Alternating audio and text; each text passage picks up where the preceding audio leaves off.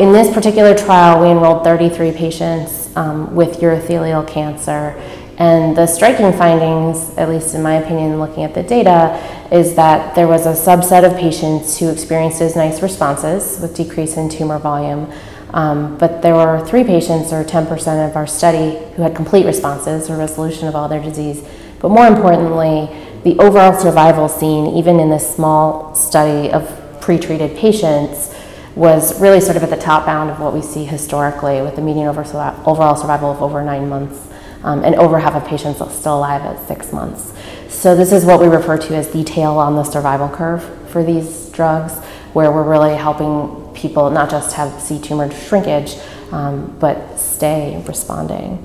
I think the also thing, other thing to point out with these drugs as single agents, and this was borne out not just in our study, but in the um, MPDL study that was reported along with ours, is that these drugs are really quite tolerable. Um, patients who, you know, can stay on them if they're responding because they don't accumulate toxicities. So that's another sort of really interesting finding. And all of this together, even in this small group, um, led to enough interest to push forward with a phase three study in bladder cancer, which is set to start by the end of the year.